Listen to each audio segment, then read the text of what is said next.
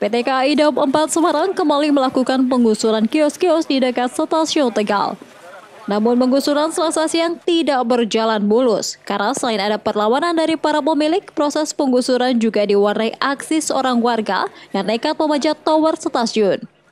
Tak rela, warung makan nasi padang miliknya diratakan dengan tanah oleh alat berat. Yuli Purwati, 40 tahun, warga Kelurahan Panggung, Kota Tegal, nekat memanjat tower karena depresi dan berencana bunuh diri sebab sudah kehilangan mata pencahariannya.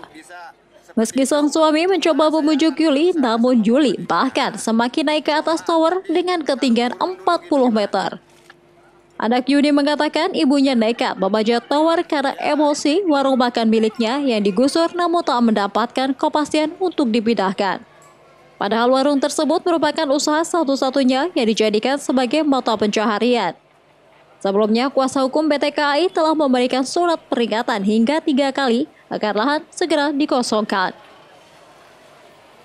Wali Kota Tegal, Dedi Yon Supriyono pun turun tangan untuk membujuk Yuli agar turun dari tower.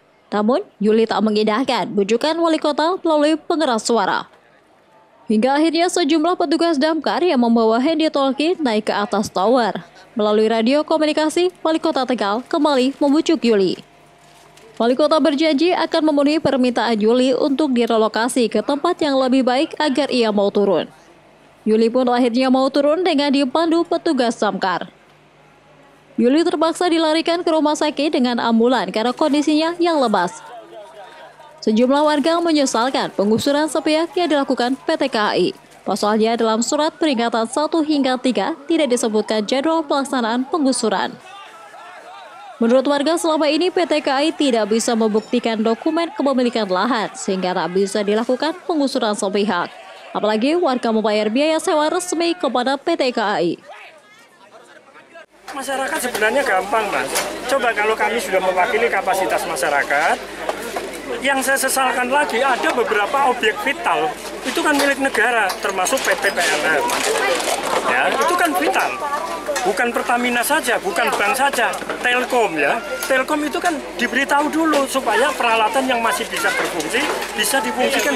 Kalau PT Telkom, PT PLN semua sudah mulai mencabut kan masyarakat akan reda, turun temperasinya Bahwa oh iya itu aja pemerintah mau sadar. Berarti tinggal nunggu giliran kita dibongkar kan begitu. Nah kalau yang saya sesalkan ditanyakan bulan balik tidak bisa menjawab.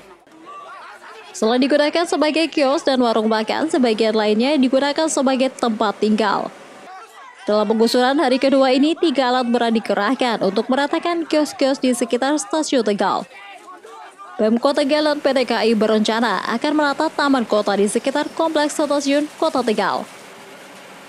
Yuri Herdianto, Kompas TV, Tegal.